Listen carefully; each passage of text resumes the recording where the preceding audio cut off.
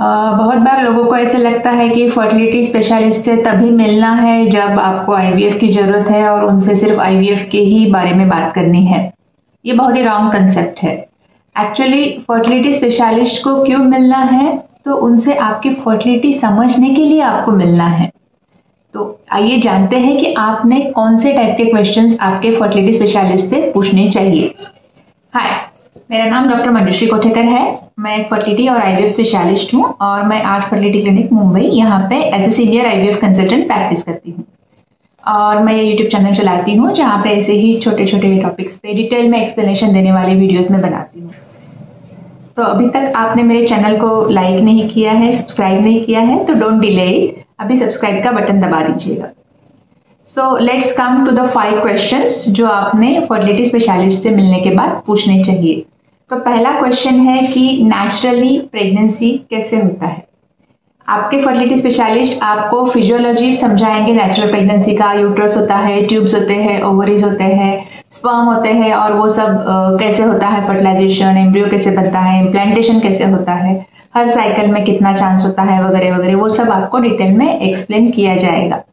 ये क्यों ज़रूरी है? क्योंकि ये अगर आपको पता है तो उसके बाद ही आप समझ सकते हो कि प्रॉब्लम क्या है, क्या हो सकता है और कौन सा ट्रीटमेंट आपको हेल्प कर सकता है।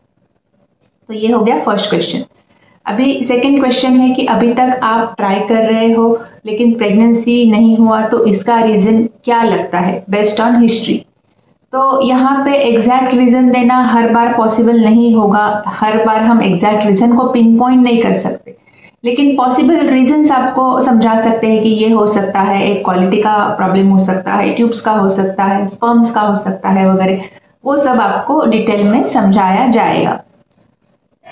कुछ उसके लिए और कुछ डायग्नोस्टिक टेस्ट भी होंगे तो वो भी एडवाइस किए जाएँगे। वो टेस्ट क्यों कर रहे हैं, उससे हमें क्या समझेगा, क्या इंटरप्रिटेशन होगा, क्या हेल्प होगा, वो भी समझाया जाएगा।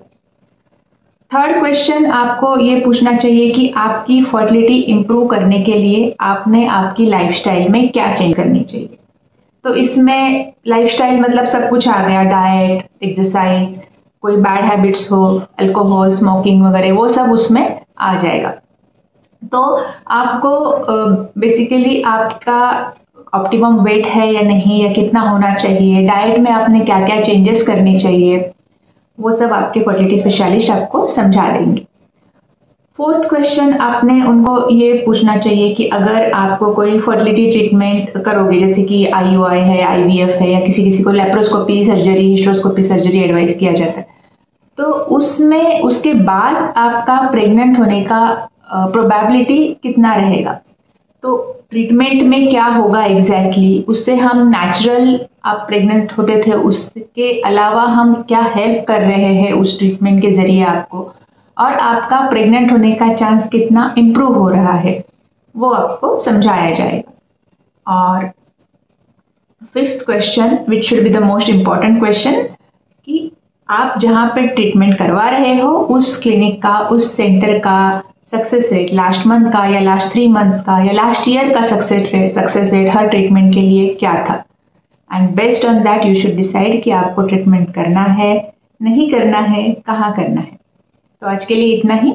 अगर आपको और कोई डाउट्स है तो आप नीचे कमेंट्स में पूछ सकते हो, या कंसल्टेशन के लिए आना है तो क्लिनिक मुंबई में है, कुल्लौर चेंबूर में, और यूट्यूब से आने वाले पेशेंट्स को हमेशा फ़र्स्ट कंसल्टेशन फ्री रहेगा।